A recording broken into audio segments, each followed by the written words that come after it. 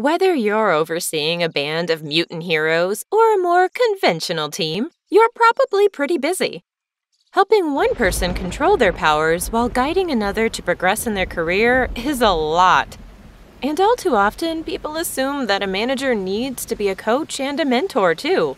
But what if great management isn't about trying to manage, coach, and mentor everyone yourself?